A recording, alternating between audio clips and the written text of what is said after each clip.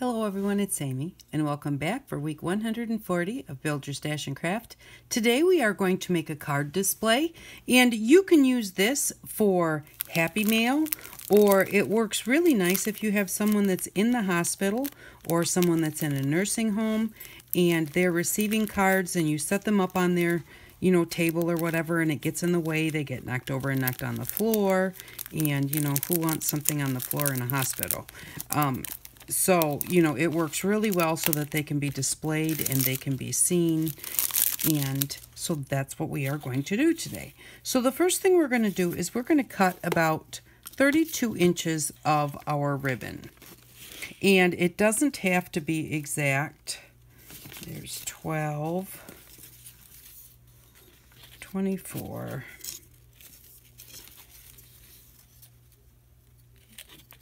and 32 is right in this area. That gives us a little bit of room to um, fold it over at the top and to cut a tail at the bottom and still have enough room to put a decent amount of uh, paper clips.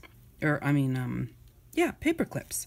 So what we're going to do is this ribbon has wire in it. Now, do we want wire? It's not going to hurt anything.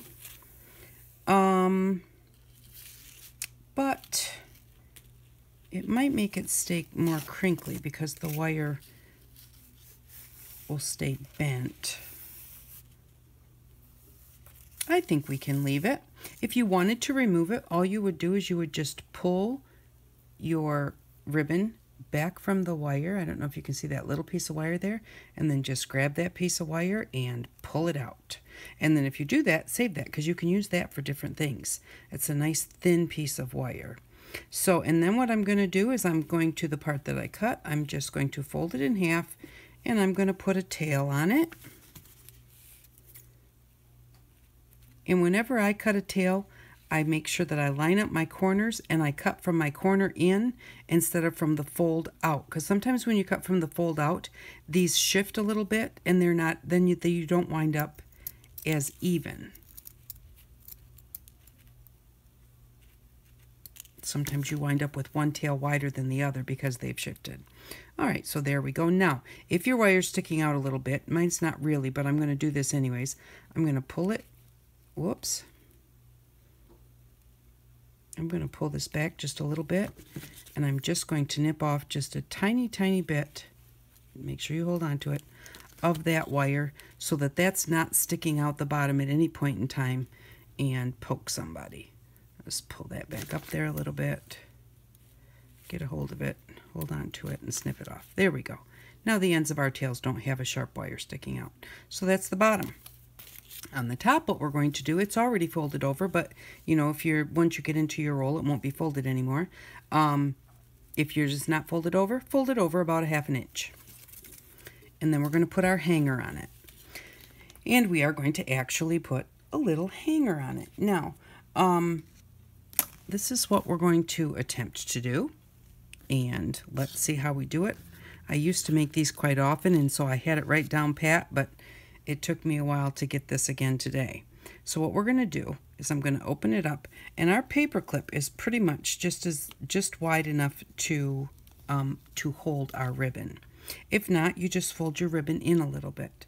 So we're just going to kind of, what before we fold them up, whoops, whoops, whoops, before we fold them up, we're going to take our regular pliers and we are just going to squish this down a little bit.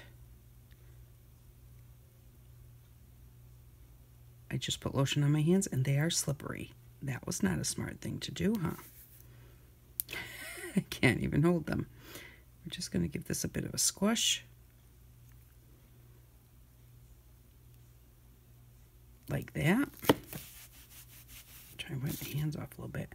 And then the other end too. Both ends, just give them a little bit of a squash.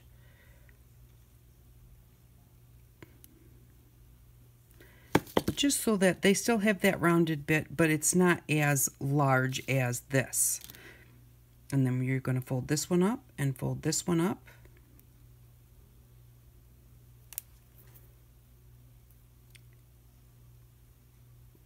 And then we're going to kind of figure out where is the length of this one? We're going to fold it back just a little bit. We're going to probably use about in maybe a quarter of an inch and say if I fold this right here, this side and this side look about the same length.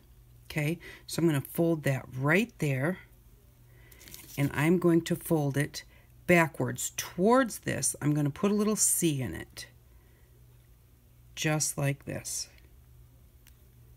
And so now it looks like that. Okay, and then what we're going to do is we're going to kind of hook that around here. And again, look to see where does it look like they're about the same length. And if it if it was right about there, probably right about there, this length looks about the same as this length. And so right here is where I'm going to, I'm going to get this out of the way, I'm going to fold this straight up. And then this is going to hook around it. And then I'm going to look and see how that looks. Now this looks quite a bit longer than this one, so there's options. I do want to kind of fold that back down a little bit and move up just a little bit. Get this out of my way. Fold that up just a little bit higher. Up there. Now let's try it. There. Now the two sides to me look a little bit more even. They're not perfect. You can measure them to make them perfect, um, but I usually just eyeball it. So now that I've got that done, and I think that that looks good, I'm going to go ahead and go in here and I'm going to pinch that little first little C that we made, and that's going to hold on to the hanger so that it doesn't move. So we're just going to pinch that shut. So we pinch this little piece shut, then we'll stand this one up. I'm going to use my round nose pliers. Just kind of stand that up. And then decide where we need to cut it. Get our nippers. We're going to cut it right probably right about there looks pretty good.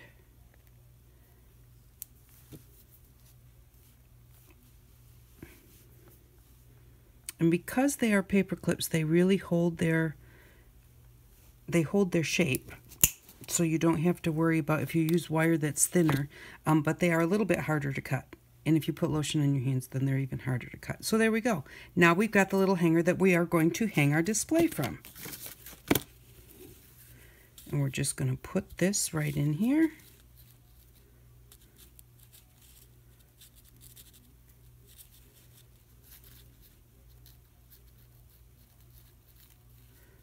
Just like that. There. And then you can glue that down or you can sew it down. Because I have my needle and thread out, I sew it. And if you think that you don't want your thread to be white, we, we bought white for the for our series. And so if you wanted it maybe to be red, all you need to do is just use a red marker. Just take a red marker put it right on your thread and pull your thread through. And do that a couple of times and you'll have red thread. So I like with the white of the lace, I like the white. So it does not bother me at all that my thread is white. I'm just going to go around the end a couple of times. And then because this is the hanger, you do want to, um, you know, don't take great big huge stitches. You want it to be solid. And just try and go straight across underneath your, your little hanger there so that that line looks neat. And then when you get to the other side, we'll just put a knot in it. And that part will be all done. And we've got the bottom done. Then all we have to do is add our clips.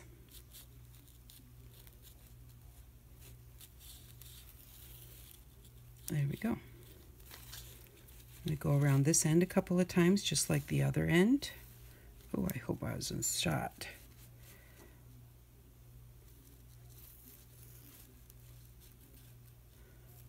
Just like that.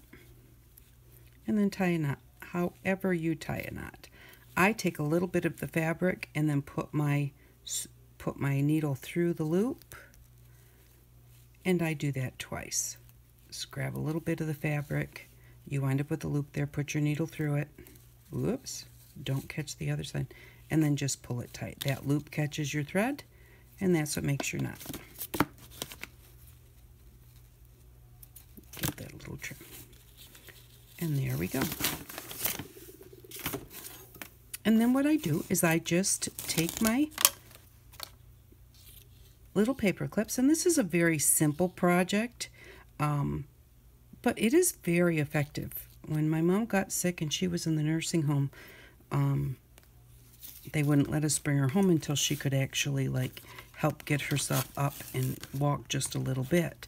And so um, I made her one of these to hang on her wall and it just it really looked nice and it really was a good place to um, have her cards and if she had more cards then we'd just kind of switch them out people don't send as many cards as they used to though. All right so when you hook on your paper clip you are going to hook on the long top part not the part that's cut not the center part but you're going to put a tack on each end.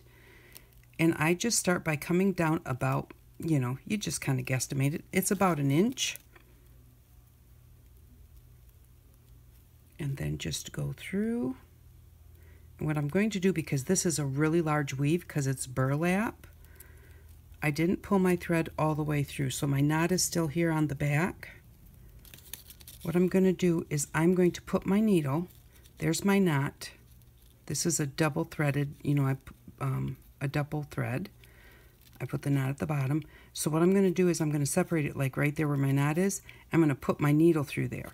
That way when I pull that tight, this back up here, um, when I pull it tight, that this has gone through that one and the knot cannot pull through to the other side. Okay, so, and now that we've got that securely on there, we're going to take three or four stitches just to make sure that it holds, and then we'll just go and do the same thing at the other end. If you wanted, you could just you know, just kind of take your stitches all the way across if you wanted to. If you had some pretty like embroidery thread or something, you know, you could put a stitch here, then maybe skip a quarter of an inch or so, put another stitch and another and another just for decoration. You really don't need that many. One at each end is fine. And then again, I'm just going to catch a little bit of fabric. And I'm going to do that twice.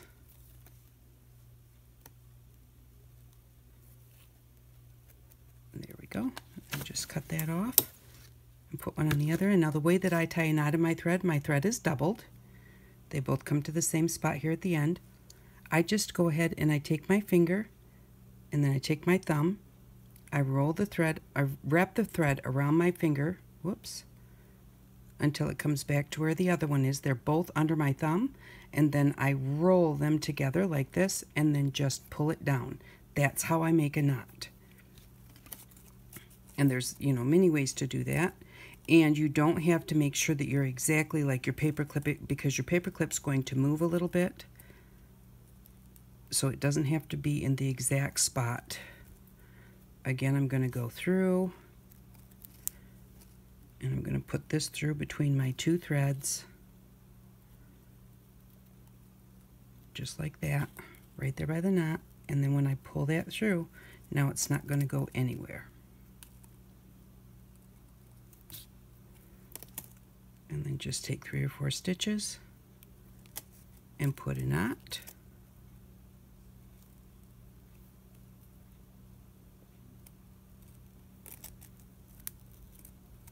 Oops, caught it around the paper clip.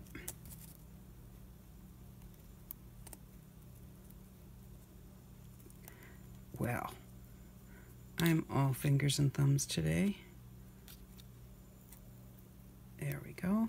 I think I'll take one more because I've got a space between my stitches here, so I'm just going to kind of cover that up.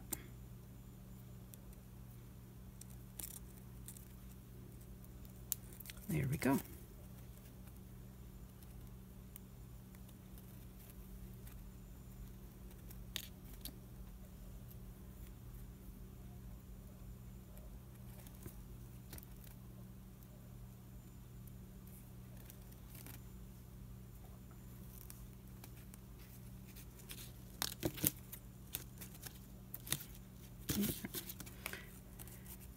And so there we go. Now what I'm going to do is I'm going to go down about seven inches.